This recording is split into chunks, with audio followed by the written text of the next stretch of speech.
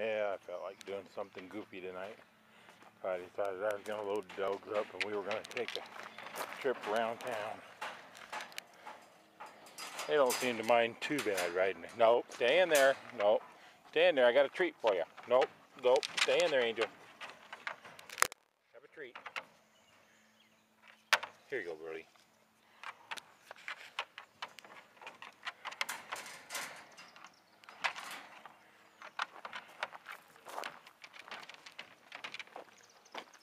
Good boy. Good girl.